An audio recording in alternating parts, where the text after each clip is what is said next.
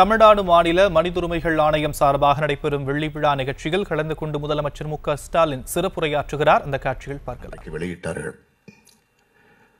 மாநிலத்தில் மனித உரிமை ஆணையம் அமைக்க வேண்டும் என்று ஆயிரத்தி தொள்ளாயிரத்தி தொண்ணூத்தி மூணாம் ஆண்டு முதல் கருத்துரு இருந்தாலும் அது அமைக்கப்படவில்லை என்பதை சுட்டிக்காட்டிய முதலமைச்சர் கலைஞர் அவர்கள் ஒன்றிய அரசிடமிருந்து இது தொடர்பாக தொடர்ச்சியாக அறிவுறுத்தல் வந்தாலும் ஐந்தாண்டு காலமாக எந்த நடவடிக்கையும் எடுக்கப்படவில்லை என்பதை சுட்டிக்காட்டினார். திராவிட முன்னேற்ற கழகத்தினுடைய ஆட்சி தமிழகத்தில் ஆயிரத்தி தொள்ளாயிரத்தி தொண்ணூற்றி ஆறாம் ஆண்டு அமைந்த பிறகுதான் மாநில மனித உரிமை ஆணையம் அமைப்பதற்கான அரசாணை இருபது பன்னெண்டு ஆயிரத்தி தொள்ளாயிரத்தி தொண்ணூற்றி ஆறு என்று பிறப்பிக்கப்பட்டது. அதன்படி ஆணையம் அமைக்கப்பட்டது. ஓய்வு பெற்ற உயர்நீதிமன்றத்தினுடைய நீதியரசர் நயினார் சுந்தரம் அவர்களை தலைவராக நியமித்தது கழக அரசு. இதனை சட்டமன்றத்தில் முதலமைச்சராக இருந்த தலைவர் கலைஞர் அவர்கள் அன்றைக்கு அறிவித்தார்கள். அதன்படி உருவாக்கப்பட்ட மாநில மனித உரிமை ஆணையத்தினுடைய வெள்ளி விழாவைத்தான் இன்று நாம் இங்கே கொண்டாடி கொண்டிருக்கிறோம். மனித உரிமை காக்கும் மாண்பாளரான தலைவர் கலைஞர் அவர்களை இந்த இடத்தில் நினைவு கூறுவது பொருத்தமாக இருக்கும். மனித உரிமைகள் பாதுகாக்கப்பட வேண்டும். மனிதரின் மாண்புகள் போற்றி பாதுகாக்கப்பட வேண்டும் என்பதில் நாங்கள் எப்போதும் கண்ணும் கருத்துமாக இருப்பவர்கள். தந்தை பெரியார் அவர்கள் முதன் முதலில் தான் உருவாக்கிய அமைப்புக்கு சுயமரியாதை இயக்கம் என்றுதான் பெயர் சூட்டினார். சுயமரியாதை என்பது ஒவ்வொரு மனிதருக்கும் உயிரினும் மேலானது. மனித உரிமைக்கு அடித்தளமானதும் சுயமரியாதை தான் சுயமரியாதை தன்மானம் மனிதநேயம் மனித உரிமைகள் ஆகிய அனைத்தும் ஒரு பொருளை தரக்கூடிய வேறு வேறு சொற்கள் தான் அதனால்தான் தனி மனிதரின் சுயமரியாதையாக இருந்தாலும் ஒரு இனத்தின் தன்மானமாக இருந்தாலும் மானுட கூட்டத்தின் உரிமைகளாக இருந்தாலும் அவை எந்த காலத்திலும் எந்த சூழ்நிலையிலும் பாதிக்கப்படக்கூடாது. பறிக்கப்பட்டு விடக்கூடாது என்பதில் நாங்கள் உறுதியாக இருக்கிறோம் கவனமாகவும் இருக்கிறோம். இவை எல்லாம் ஏதோ அரசியல் கட்சியின் கருத்துக்கள் மட்டுமல்ல. அரசியலமைப்பு சட்டம் சொல்வதும் இதனைத்தான். அரசியலமைப்பு சட்டத்தின் மிக மிக அடிப்படையான அம்சம் என்பதை மனித உரிமைகள் தான் சமத்துவ உரிமை பேச்சுரிமை எழுத்துரிமை எண்ணங்களை வெளியிடக்கூடிய உரிமை ஒன்று கூடக்கூடிய உரிமை பணிகள் செய்யும் உரிமை மத சுதந்திரம் கல்வி உரிமை சொத்துரிமை பாதிக்கப்பட்டால் அதற்கான தீர்வு காணக்கூடிய உரிமை. ஆகிய பல்வேறு உரிமைகளை அரசியலமைப்பு சட்டம் சொல்கிறது. அதனை காக்கும் பொறுப்பும் கடமையும் அனைத்து அரசுகளுக்கும் உள்ளது. அந்த கடமையிலிருந்து நாங்கள் ஒரு நாளும் தவற மாட்டோம் என்ற உறுதியை நான் இங்கே தருகிறேன். எனது தலைமையிலான நமது அரசு சட்டத்தின் அரசாக நீதியின் அரசாக சமூக நீதியின் அரசாக செயல்பட்டு வருவதை நீங்கள் எல்லாம் நன்றாக அறிவீர்கள்.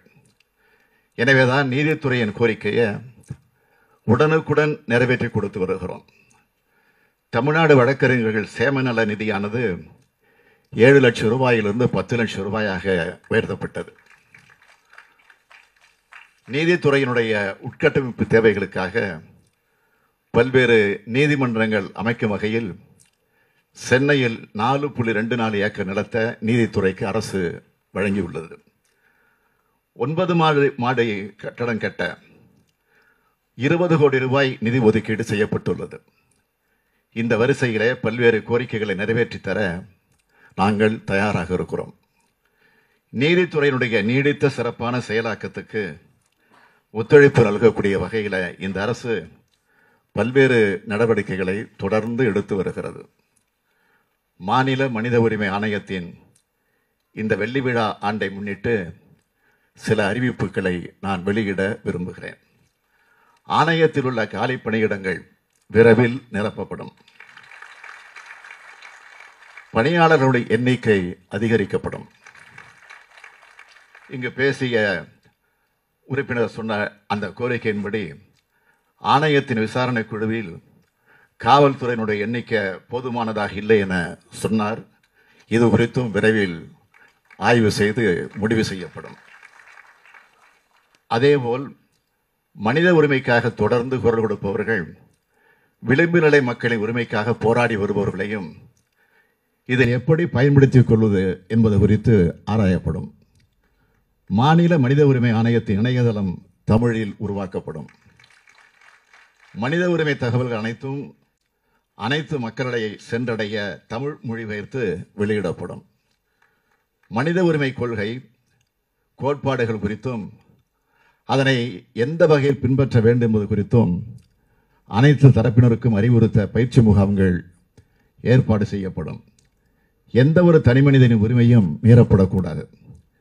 எத்தகைய சமூகமும் எதன் பொருட்டும் இழிவுபடுத்தக்கூடாது. இதற்கு காரணமான யாரும் சட்டத்தின் பார்வையிலிருந்து தப்பிவிடக்கூடாது. இவை மூன்றும் தான் இந்த அரசினுடைய மனித உரிமை கொள்கை என்பதை இந்த நிகழ்ச்சியின் வாயிலாக நான் அறிவிக்க கடமைப்பட்டிருக்கிறேன். உச்சநீதிமன்ற உயர்நீதிமன்ற நீதியரசர்கள் பங்கேற்கக்கூடிய இந்த நிகழ்ச்சியில் எனது சில கோரிக்கைகளை முன்வைக்கவும் நான் விரும்புகிறேன். பொதுமக்கள் மற்றும் வழக்கறிஞர்கள் நலனை கருத்திலே கொண்டு உச்சநீதிமன்றத்தினுடைய கிளை சென்னையில் அமைய ஏற்பாடுகள் செய்யப்பட வேண்டும். சென்னை உயர்நீதிமன்றத்தினுடைய வழக்காடு மொழியாக தமிழ் மொழி ஆக்கப்பட வேண்டும். இவை சட்டத்தின் ஆட்சியில் மக்களின் கோரிக்கைகளாக இவை அமைந்துள்ளன. இக்கோரிக்கைகளை சில மாதங்கள் முன்பு உச்சநீதிமன்றத்தினுடைய தலைமை நீதிபதிகள் பங்கேற்ற நிகழ்ச்சிகள் நான் முன்வைத்ததுதான். இருப்பினும் மீண்டும் அவற்றை இங்கு வலியுறுத்த நான் நினைவூட்ட விரும்புகிறேன். இங்கு வந்து நம்மை கௌரவித்திருக்கக்கூடிய மாண்புமிகை நீதிபதிகள் அவற்றை தமிழ்நாட்டுக்கு நிறைவேற்றி தரவும் உங்கள் அனைவரின் சார்பில் நான் அவர்கள் அன்போடு கேட்டுக்கொள்கிறேன். நீதித்துறையை பொறுத்தவரை நான் இங்கே கோரிக்கை வைப்பவனாகத்தான் வந்திருக்கிறேன் என்பதை நீதியரசர்கள் அறிவார்கள் என்று நான் நம்புகிறேன். சட்டத்தின் அரசாக நீதியின் அரசாக அதுவும் சமூக நீதியின் அரசாக அமைவதுதான் மக்களின் அரசாக அமைய முடியும். எல்லாருக்கும் எல்லாம் என்ற சமூக நீதி தத்துவத்தை உள்ளடக்கிய திராவிட மாடல் அரசை நாங்கள் நடத்தி வருகிறோம். மக்களுக்கு இன்றைய தேவை என்ன என்பது மட்டுமல்ல முக்கியமாக நீதி மட்டும்தான் என்பதை நாங்கள் அறிவோம். உலக பொருளாதார மேதையான அமர்த்தியா சென் அவர்கள் கூறுகிறார் அவர் தி ஐடியா ஆஃப் ஜஸ்டிஸ் என்ற புத்தகத்தில் நீதியை உருவாக்கி கொடுப்பதும் அநீதி ஏற்படாமல் தடுப்பதும் ஆகிய இரண்டும் முக்கியமானது என்கிறார். அத்தகைய சூழ்நிலையை உருவாக்கவே நாங்கள் செயலாற்றி வருகிறோம். இதைத்தான் ஐயன் வள்ளுவர் தன்னுடைய குரலில் வேலென்று வென்றி தருவது மன்னவன் கோலோதும் கோடாதேனேன் என்று கூறுகிறார். இதனுடைய பொருள் ஆட்சியாளருக்கு வெற்றி தருவது ஆயுதம் என்று அவரின் நெறி தவறாத ஆட்சி முறையே என்பதாகும்.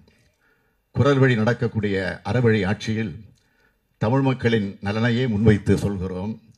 அவர்களின் உரிமைகளை பாதுகாக்க தொடர்ந்து விளைகிறோம் அந்த வகையில் மாநில மனித உரிமையானது இத்தகைய சமூக நிதி சமூகத்தை உருவாக்க அனைத்து வகையிலும் உதவ வேண்டும் என்று கேட்டுக்கொள்கிறேன்.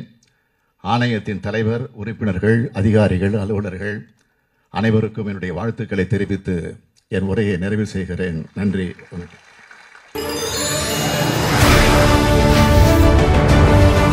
எப்படி நாள் முழுக்க நியூஸ் தமிழ் தொலைக்காட்சியோட சோஷியல் மீடியா பேஜஸ்ல கம்ப்ளீட்டா கனெக்டடா இருக்கீங்களோ அது போலவே நியூஸ் தமிழ் தொலைக்காட்சியையும் பாருங்க.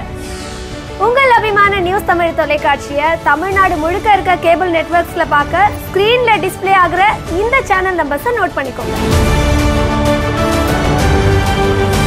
உங்களின் குரலாக உங்கள் சார்பாக உலகின் அனைத்து திசைகளிலிருந்தும் நடுநிலையான செய்திகளை அறிந்து கொள்ள ஸ்டேட்யூன் அண்ட் கீப் வாட்சிங் நியூஸ் தமிழ்